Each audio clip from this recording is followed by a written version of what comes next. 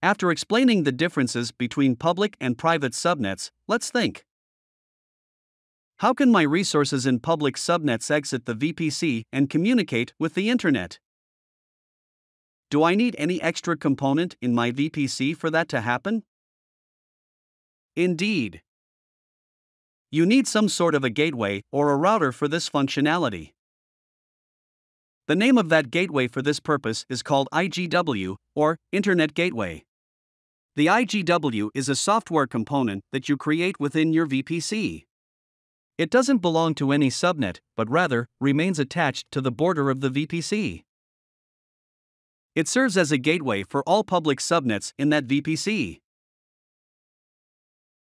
One final step is needed you have to adjust the routing tables of your public subnets, point to the created IGW, and specify it as your default route to the Internet.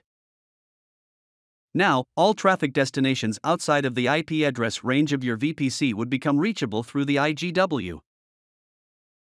What about my private resources in my private subnets? Do you think, at any point in time, they would need an internet connection? Internet? For private resources?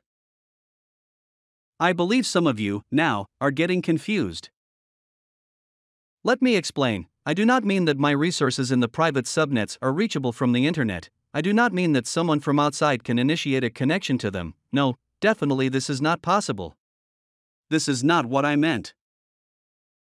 What I meant was, there are some scenarios where your private resources might need to initiate a connection to the internet, maybe to download an update or a security patch.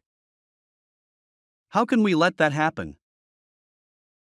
Well, you need another gateway of another type. You need a NAT gateway.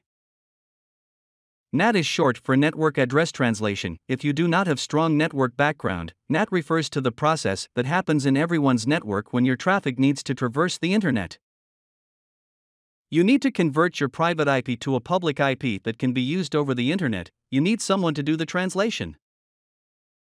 In our case here, you need to create a NAT gateway in your VPC and place it in one or more of your public subnets.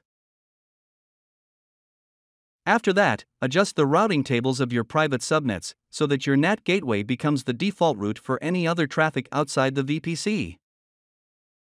Traffic will be initiated from your resources, then routed to the NAT gateway. Address translation occurs. Then NAT gateway forwards the traffic to the IGW. Then to the Internet.